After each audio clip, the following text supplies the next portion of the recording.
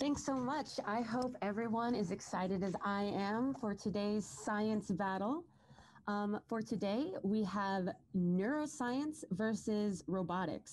So, um, in the chat below, tell me what you're most excited for uh, neuroscience or robotics. Um, and right now, I'm going to introduce who are going to be our fighters today. So, in corner one, we have Olivia, the trainer Meisner. Olivia hails from New Orleans, Louisiana. She learned about neuroscience and Spanish at Emory University in Georgia. You would never guess from the science poster that we had up, but Olivia is a master trainer. She trained her cats to sit, spin in a circle, and stand up. I, wow, I can't train my cat to do anything. Um, when she isn't training her cats, she enjoys training herself to be the best at water polo, running, and painting.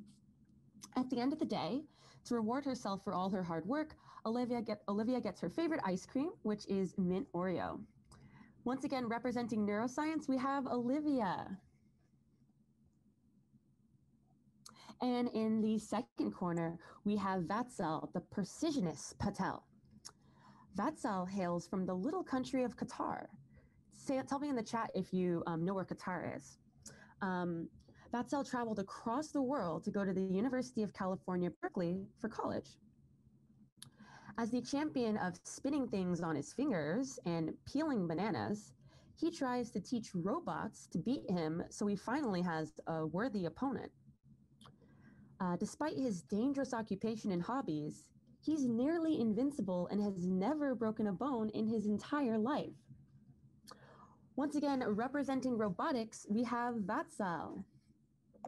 And so now that I've introduced you to the speakers, once again, throw in the chat who you think's going to win, Olivia or Vatsal. Okay, and to determine who's going to go first, we are going to have a coin flip. Eli, the coin.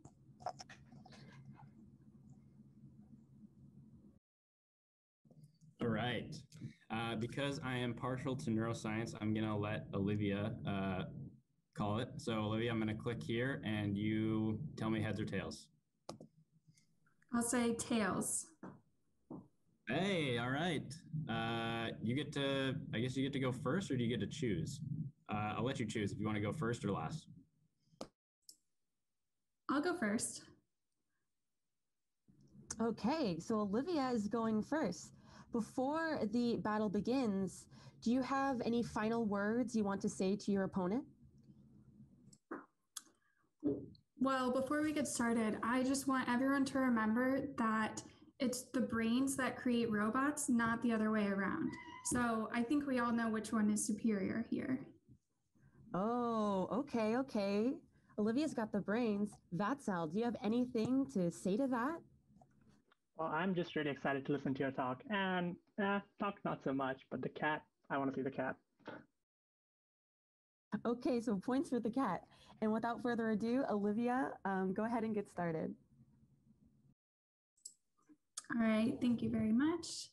Okay, so today I will be presenting my research aimed at helping us understand how our brains help us to make social decisions. And again, my name is Olivia Meisner, and some of you actually may have met me when I talked about my pathway to science a few weeks ago. One of the things I mentioned at that point was that ever since I was a kid, I was always very interested in understanding why and how people make the decisions that they do. And as I got into research, I realized that I was more specifically interested in learning about what motivates people specifically in social situations and what goes on in their brains as they make social decisions. Because of this, I started to research social behaviors. One important social behavior is cooperation. So first we need to understand what exactly is cooperation. Cooperation is the process of two or more organisms working together to achieve the same goal. When you think of cooperation, the first thing you might think of is two humans working on something together as you see here in this picture, with the dad helping his child build with toy blocks. But humans are not the only beings that cooperate. Here's an example of one monkey grooming another. In the next picture, you see two hawks hunting together. One is standing on the back of the other one to get a better view of potential prey. and even insects like bees cooperate. In this last picture, you see the bees forming a bridge between two parts of the swarm. I'm sure all of you have cooperated with someone at some point. What's the last time you cooperated on a task with someone and who was it with? Feel free to put your answers in the in the chat.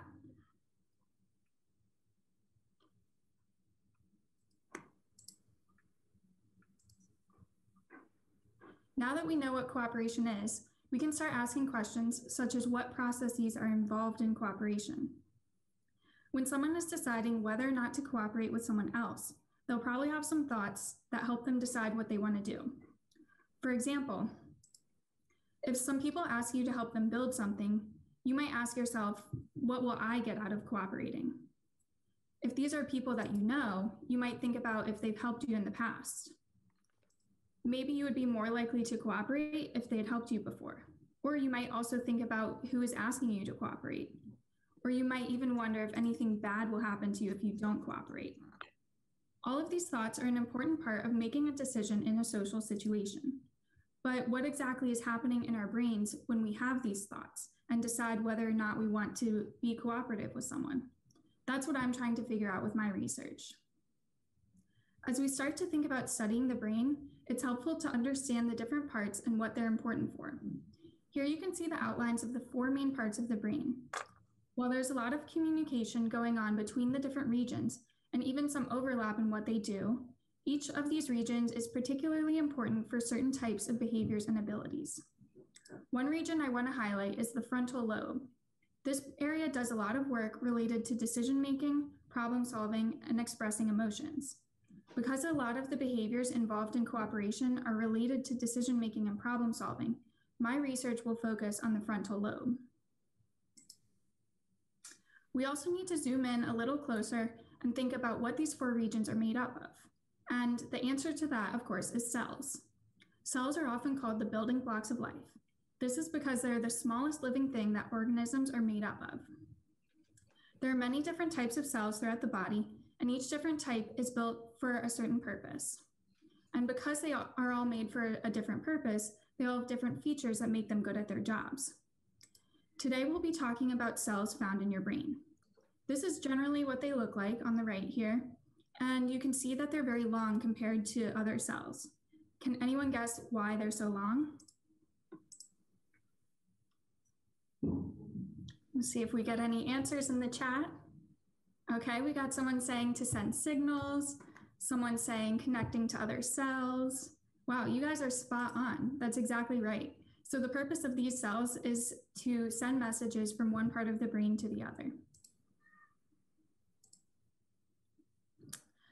So how exactly do these brain cells communicate? Well, if you've ever played the game Telephone, you actually might already have a idea. In the game Telephone, the first person has a message that they then whisper into the ear of the next person. Then that person tells the message to the next person, and so on until the message reaches the last kid in the red shirt. Brain cells actually communicate in a very similar way. The first neuron on the end gets a message and it sends it to the next neuron, which sends it to the next neuron, and so on until the message reaches its final destination. To understand this better, we can take a closer look at how this happens in the brain. In your brain, you have a lot of neurons, and these neurons are all in different parts of your brain, and so they each care about something unique, depending on where they're located. For example, if you see a dog, the first brain cells might get a message about seeing something. They then send this message to the back part of the brain, which is important for vision. A neuron there might say something like, I see a dog. Then this neuron will send that info to the front part of your brain, which is important for making decisions. Once the message gets there, the brain cells might say something like, Hey, I really want to pet that dog. So that's a general idea of how signals related to decision making are sent throughout the brain. Now that we know about how brain cells communicate, we have to think about how exactly we can study these cells. One way that we can study brain cells is by looking at the brains of other animals. For my research, I study the brain activity of marmosets. Marmosets are a small monkey, as seen here. Um, they're about the size of a squirrel. And one thing that's really great about marmosets is that they're very pro-social, which means that they like to do things to help other monkeys. on the left here, this monkey is carrying infant marmosets, and by doing so, he's helping out the mother. And the marmoset on the right is sharing food with another animal. Because they like to help each other out a lot, this means that there's a really good chance that they'll also cooperate in the lab. Because of this, I plan to study what happens in marmoset brains during cooperation. Even though marmoset brains are different from human brains, and the marmoset brain is this one on the left and the human brain is on the right, um, even though their brains are different, marmosets are still primates, which means they're pretty closely related to humans compared to lots of other animals. So we can use what we find out about marmoset brains to get a better understanding of what might also be happening in human brains during cooperation. Because brain cells are the ones sending messages about everything going on in our brains, understanding what brain cells talk about is really important to understand how our brains help us to make social decisions. As researchers, we have a lot of cool techniques that allow us to listen in on the conversations going on between brain cells. One thing we can do is kind of spy on the brain cells and listen to what they're saying. I'll explain how this works. First, think about the brain inside the marmoset's head. Then, inside his brain, he has a neuron. Well, he has lots of neurons, actually. And as researchers, we can insert a recording device inside his brain. This doesn't hurt the animal since you actually don't have any pain receptors inside your brain. This means if someone were to poke your brain, you actually wouldn't feel anything. So once we've put the recording device inside his brain, we can now hear all of the conversations that the cells are having. The recording device lives inside a cap that stays on the marmoset's head. You can think of this as a little hat that the marmoset wears. So from now on, anytime you see a marmoset wearing a hat, just know that this means that we can listen in on the conversations that these cells are having. Once we have the marmoset set up so that we can listen to their brain cells, we need a way to get them to cooperate in the lab. One way to do this is with this task shown here. Let's see if this video will work. Okay, here we go. Um, so in this task, you will see that there are, if it loads, you'll see that there are two animals. In this video, it happens to be wolves. Give it a second.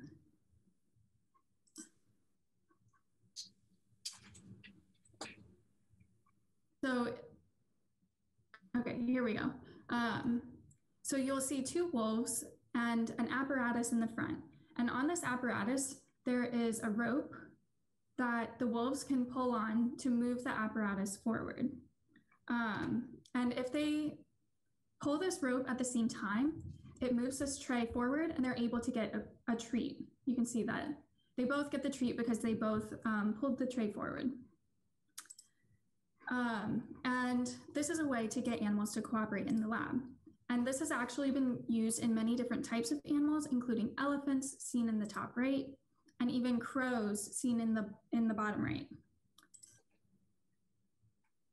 So to better understand what's happening in marmoset brains when they cooperate, I will have marmosets do the same type of task. Here you can see that there are two marmosets and each one has access to either end of the rope. And if they both pull on the rope at the same time, the platform will move forward and they will get their favorite treat, which is a marshmallow. You can also see that they're wearing their special hats. This means that we can listen to what their brain cells are saying while they're deciding whether or not to cooperate. By recording the brain cells as the marmosets do this task, I will be able to learn about what parts of the brain are most important for these types of social decisions. I'm also interested in understanding what aspects of these social decisions the brain cares about the most. To study what the brain cells care about, I can change different parts of the experiment to see what situations make the brain cells talk the most. So for example, maybe sometimes the marmoset is doing the task with another marmoset from his family. Other times, Maybe he's doing the task with a stranger monkey. Would you pull the rope to help your friend get a marshmallow? What if the other person was a stranger? Feel free to let me know in the chat if you would help out a friend or a stranger if you think that would affect your behavior. Got a lot of yeses. Yes, you guys would be cooperative. Um,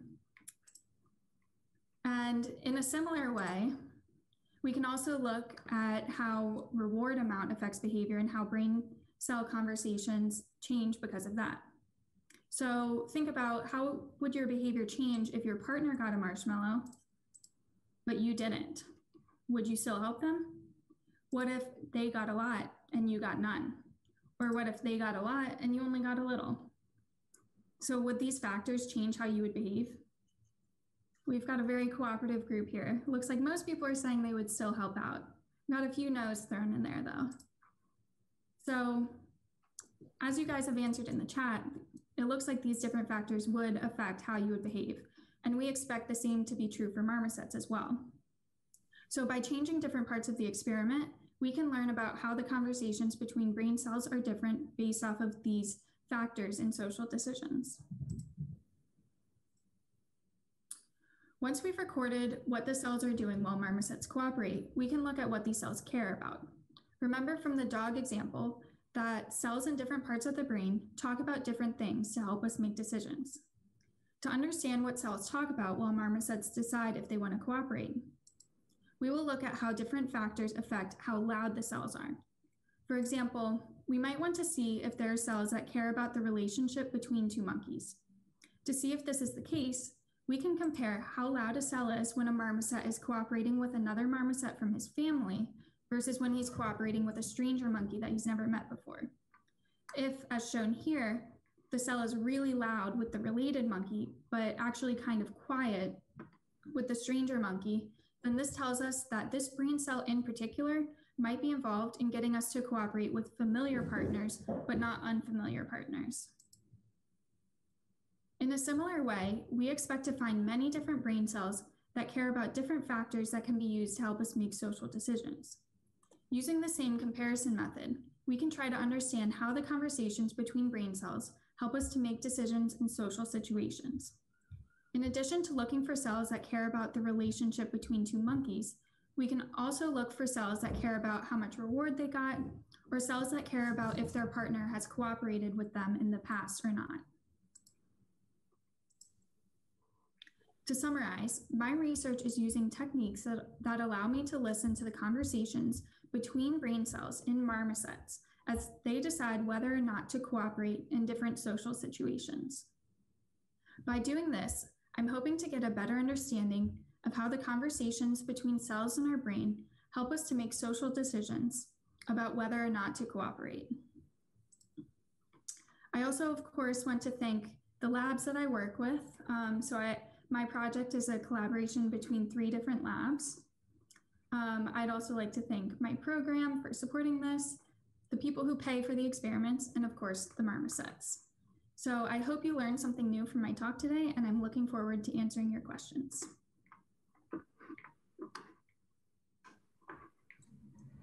Thank you so much, Olivia, for a great presentation. Um, when you were talking about the different um, cooperation experiments, you know, I myself didn't know if I wanted to cooperate if, you know, the other monkey was getting three marshmallows and I got none.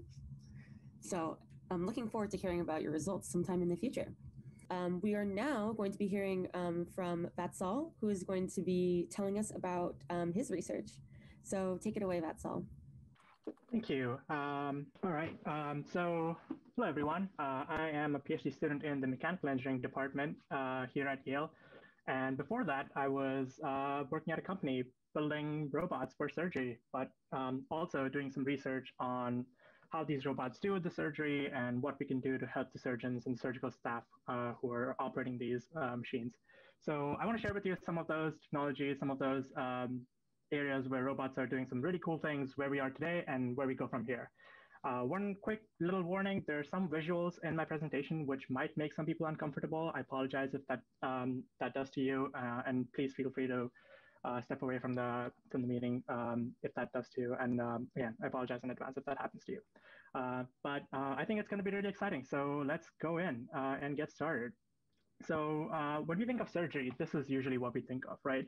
We think of big incisions. Incision is a cut in your skin uh, or tissue that a surgeon would make uh, or, or surgical staff would make in order to access the organs and tissues inside your body. And work on them, right? So they want full view of everything, uh, and they want to be able to want to be able to access it and work with work on it with their hands. And this is what we usually think of surgery. There's multiple people around, the skin is being pulled, uh, or it needs to be stretched open. Uh, otherwise, it just wants to close up again. Uh, and the patient patient is obviously under anesthesia, so they don't feel anything.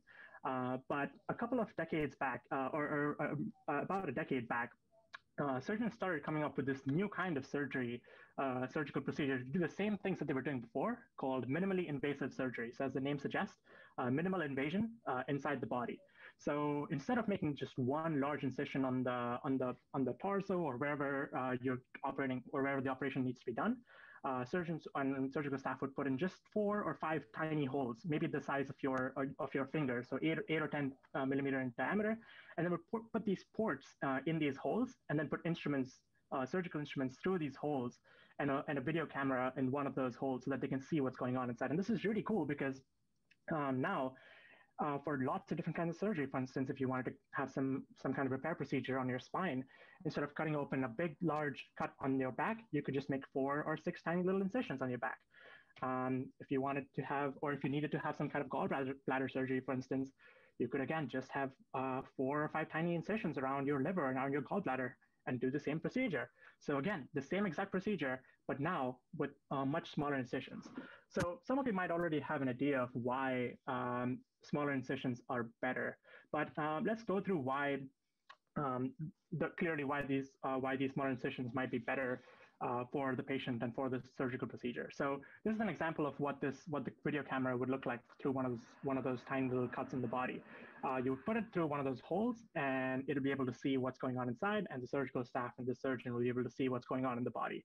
Um, the tools are usually handheld. So on one end of this, uh, on the top end of this uh, camera, for instance, there would be one um, surgeon or one surgical staff person holding that camera and then moving it around uh, to, to, to a position where uh, they might want to see something else uh, or, or now operate on a different part of the body. Uh, so there are tons of different kinds of tools that they might use. Depends on the procedure. They might have a scissor and a grasper and a long grasper and some that might uh, have some kind of energy to cauterize the tissue. Cautery just means to burn the tissue so that you can seal it together.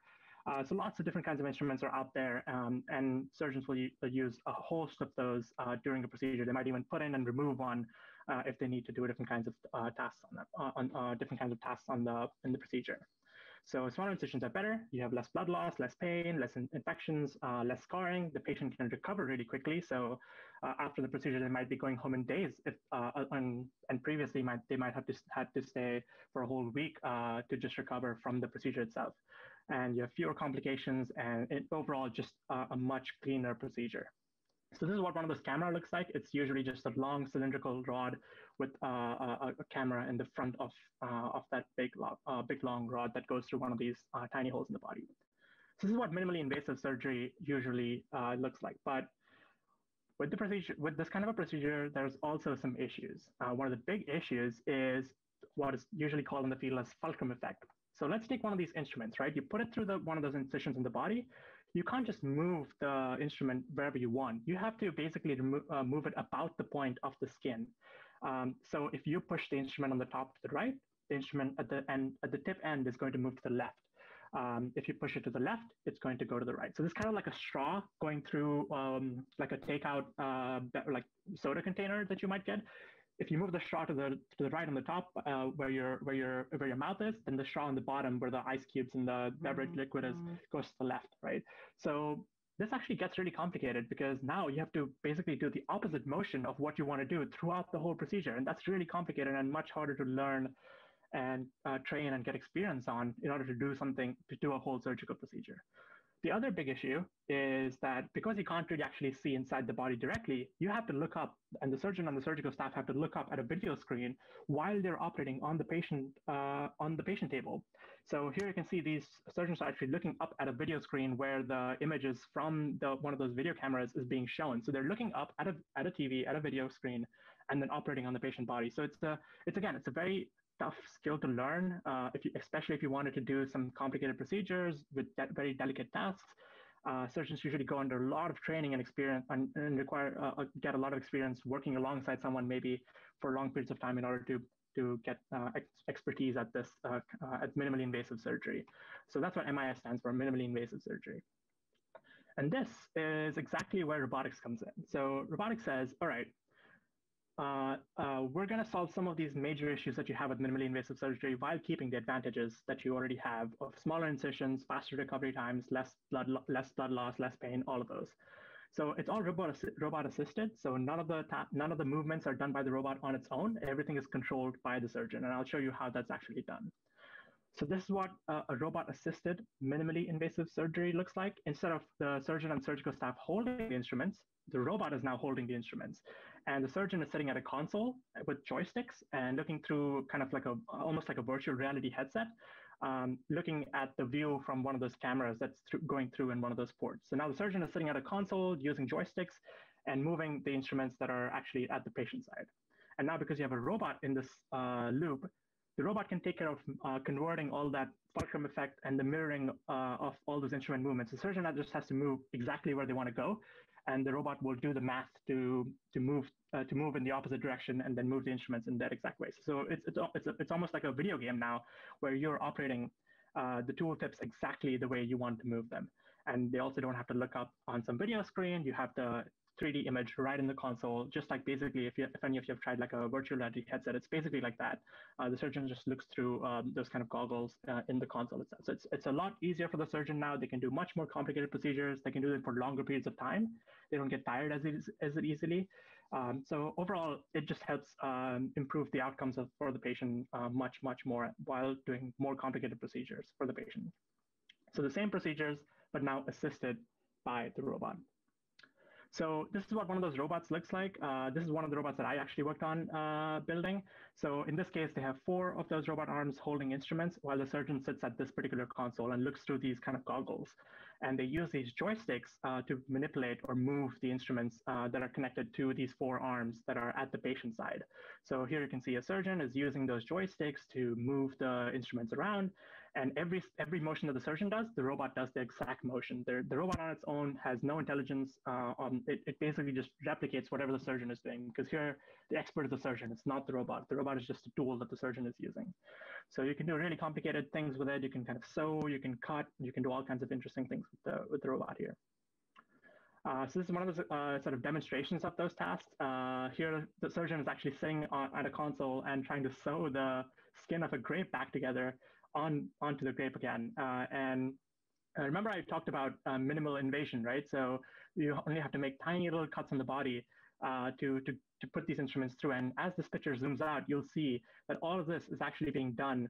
Um, uh, all the sewing of the skin back on the grape is actually being done uh, inside a bottle, actually. So it's in a very tight, constrained space, but you can do really complicated tasks, really delicate tasks so I'll wait for this picture to zoom out so you can actually see that it's actually just done um, inside uh, just an opening of a, of a bottle. So uh, just that kind that that um, size opening in your body, and you can have a grape inside of you, or, or a similar procedure being done inside of you. So again, really complicated procedure, but um, done through a very small opening.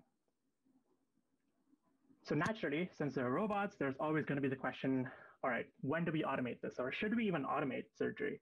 Um, obviously, surgery is a very complicated process. Surgeons go through years of training in medical school and then years of training on the field in, in hospital rooms, uh, right? So it's not an easy task to automate. Uh, but there are portions of surgery that might be helped by some automation. So in surgery, there's actually a lot of repeated tasks. Uh, think about suturing a wound, right? So suturing is sewing things up.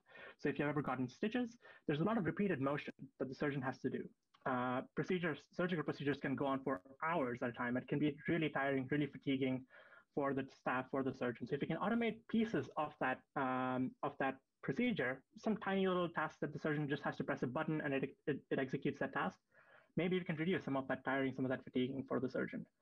And then they can free up their time, free up their brain power to focus on the more complex stuff, the more delicate and the more interesting, uh, or the, the more uh, uh, complex tasks uh, in the procedure. Uh, but obviously, the question is, would you be willing to go into uh, a surgery that's being partially automated by a robot, right? You would have to know that it's absolutely safe, that the, the robot is not going to make any mistake at all. And only then would a patient actually agree to do this, right? So even when these robots were first being introduced in the in operating rooms, patients had their doubts.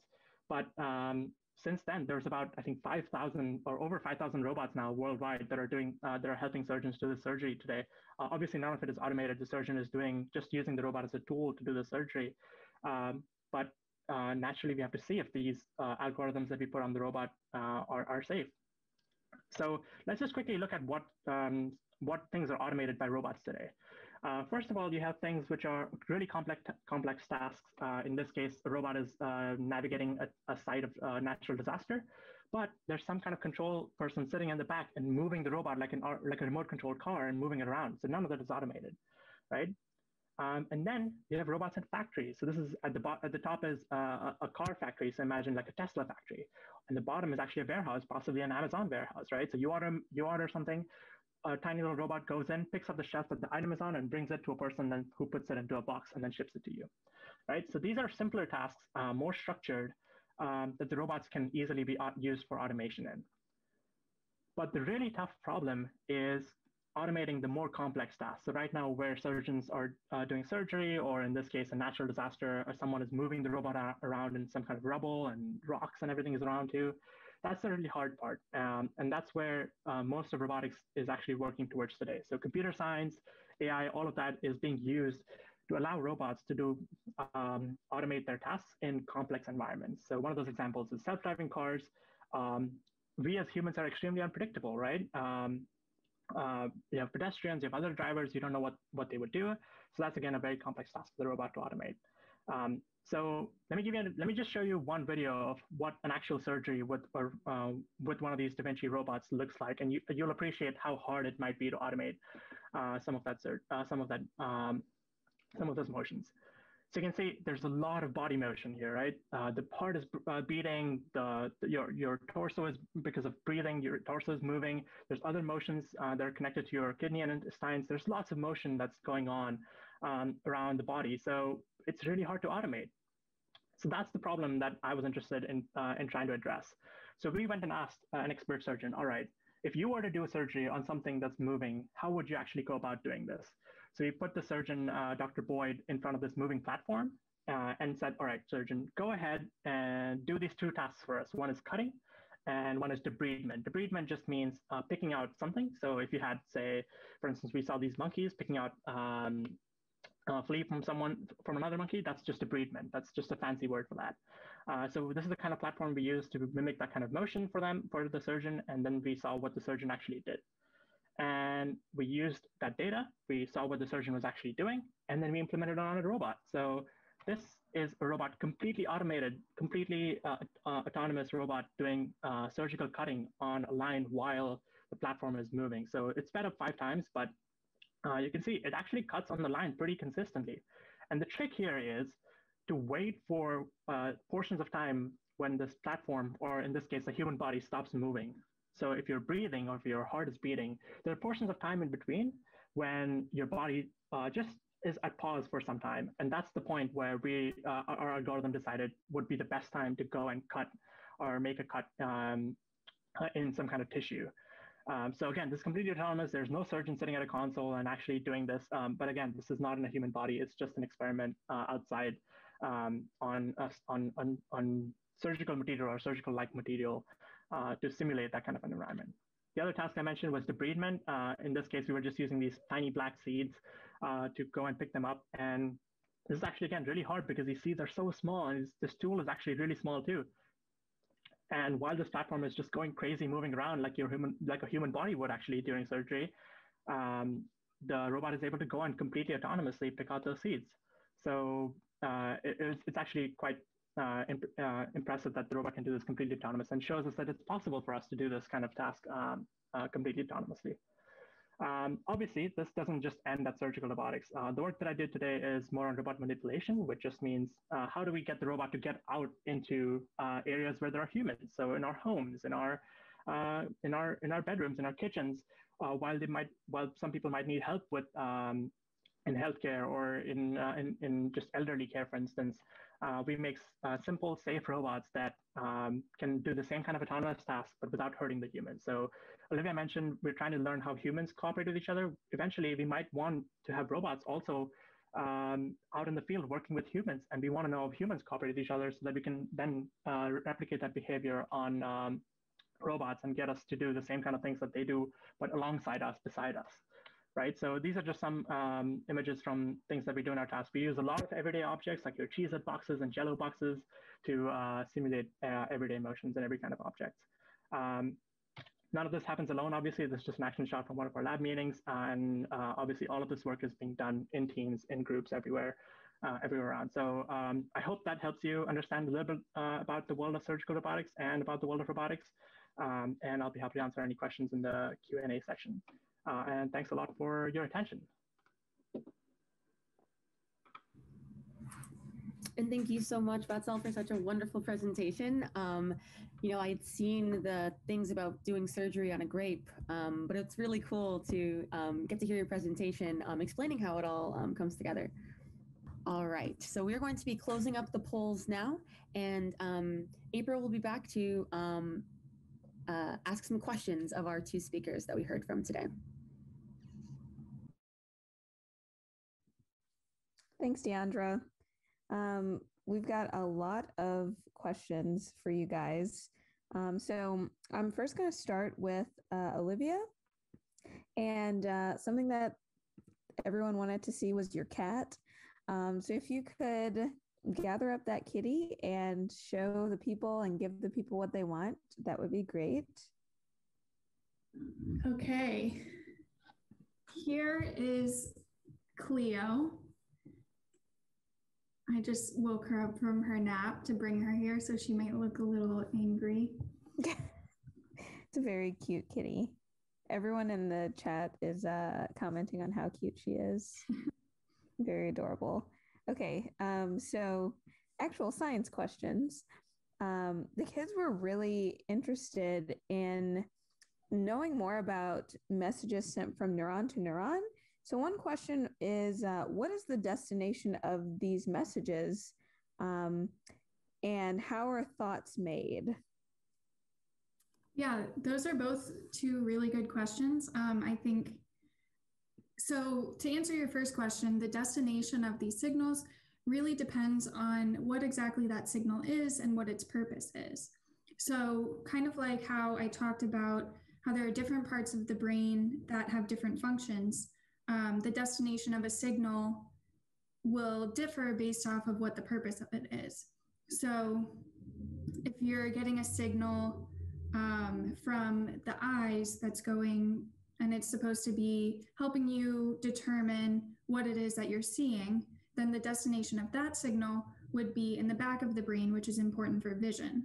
Um, but if there's a signal that is helping you just helping you to decide um, what you want to do with the thing that you just saw, the destination of that signal might be in the front of the brain, which is important for decision making. Um, and then to answer the second part of the question, which is how do thoughts originate? Um, that one's a little bit tougher to tackle um, and something I've thought about a lot. Um, and it's maybe more philosophical, but I think that might come down to some combination of spontaneous signals from neurons as well as how your neurons react, or neurons are the brain cells, um, how your brain cells react to the different things that you see in the environment or hear or taste, touch or smell. So I hope that gives you a little bit of insight into that. Awesome. Thanks so much, Olivia. Okay, my next question is going to be for you, Vatsal. Um, so some students were wondering, um, are robots currently being used in surgery? Is this a theory? Is this an idea? Um, or is it a reality? It is absolutely a reality. Um, so the distinction that I would make is there's robot assisted surgery, which is um, surgeon is controlling every aspect of what the robot is going to do. And the robot is just a kind of like a tool. It's just a passive tool that the surgeon is moving around. And that is being used everywhere. There's, I said, like 5,000 plus robots around the world, um, just like the ones I showed uh, that are just doing that part of surgery. But there's tons, one, uh, tons of others uh, doing eye surgery and orthopedics, so like uh, working on bones. Um, the part of surgery that we don't have robots doing is any kind of automation. So anything that the robot has to do on its own, we don't allow currently robots to do that because we don't think it's safe um, yet, and it's mostly just in research that that's happening. Awesome. Um, and a follow up to that question would be um, how are robots able to have such precise movements compared to humans?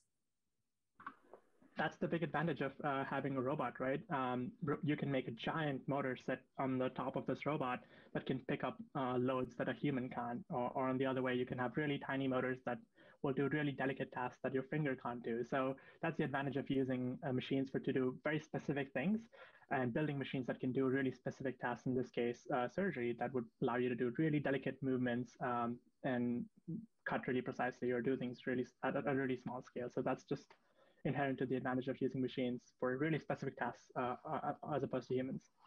Awesome. Thanks, Vatsal. Okay, Olivia, next question for you. Um, and this one's about the hat, the recording device. So, someone was wondering how do you insert the recording device and how do you track thoughts? Um, if you could just explain a little bit more about the nature of the recording device. Sure. Um, so, yeah, this technology is, is really amazing. Um, and the way that it works in terms of implanting the recording device. So, this is actually a surgery um, where you would anesthetize the animal um, in order to implant the device inside their brain. Um, and so, even though your brain doesn't have pain receptors, you still need to anesthetize them um, because you need to get the recording device past the skull and inside the brain. Um, and this, if anyone's interested, this is actually also done in humans um, as a treat a way to treat certain um, neurological disorders such as Parkinson's. So if you're interested in seeing how this type of technology can help people, um, you can look up YouTube videos about that. It's very interesting. I would definitely recommend. Um, so once we have the device implanted, we can use the device to um, kind of to record the electrical signals that are being sent from one neuron to another.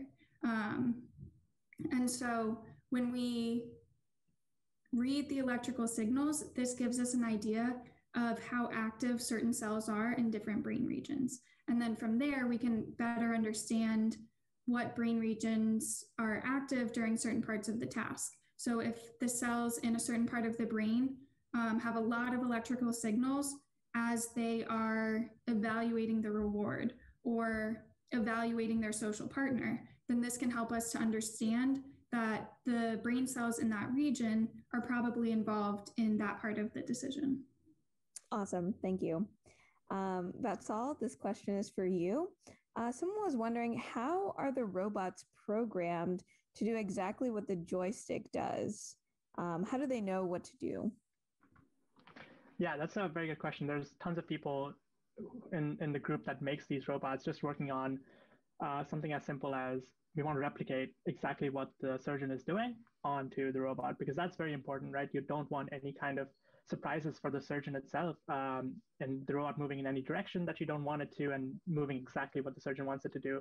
So it's actually a lot of math, a lot of um, math, like just algorithms, like pure math just, just goes into calculating uh, this much motion on the joystick corresponds to this much motion on the surgeon's on the tooltip and where the surgical robot is there. Um, so it's just a lot of math and then implemented using just like uh, programming computer science into the robot's like firmware. So it's it's all built into the robot. It doesn't have to like look up on the internet how to do this. Uh, it's all just built into the robot without any uh, connection required outside. Wonderful. Um, and would using robots require the surgeons to undergo more training? That's a very good question. Yes, uh, they do go through about a month long of training, but a lot of surgeons pick it up pretty easily because one, it's a, a little bit easier to use, but also because they've used um, non-robotic tools before that transfer quite easily. Um, and there's a whole process to um, just the learning um, curriculum that teaches them how to take what they've learned already and then implement it uh, on on the robot. So um, yes, it takes time, about a month, but uh, that's just because they've done all of this on something that's not a robot before, and they're just kind of importing all that knowledge and all that experience from there, and then using it on a robot. So um, yeah. Okay, and the last question will be for both of you, and I just want you to answer it in about 30 seconds. Um, how did you get into your area of science? Olivia, you can go first. Yeah, so as I mentioned in my talk, um, this is something that I've al- always had a natural curiosity for, just understanding what motivates people um, and why people make the decisions that they do. And then more specifically, um, I realized that I was really interested in understanding um, kind of like one of the questions, you know, how do thoughts arise um, and where does that come from? And so when I put those two things together, that led me to um, deciding to study the brain and how they relate to different types of social decisions.